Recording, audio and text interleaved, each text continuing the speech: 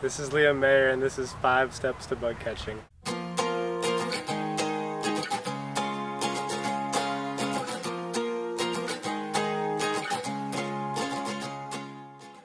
Step 1 is to catch the insect. The easiest way to do this is wait until it lands and then with a fluid sweeping motion catch it in the net. This may take a few tries, but you'll get the hang of it. Step 2. Swing your net back and forth so the insect will travel closer to the corner.